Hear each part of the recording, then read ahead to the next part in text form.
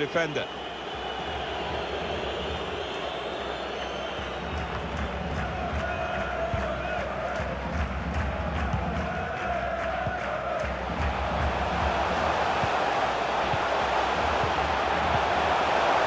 Impressive in possession, passing's good, possibly dangerous.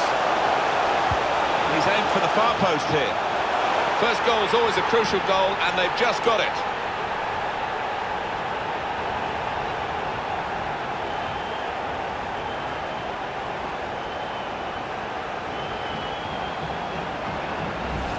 That was a top-class goal. It's come in from a long way out, and from that angle, it's not always easy to finish.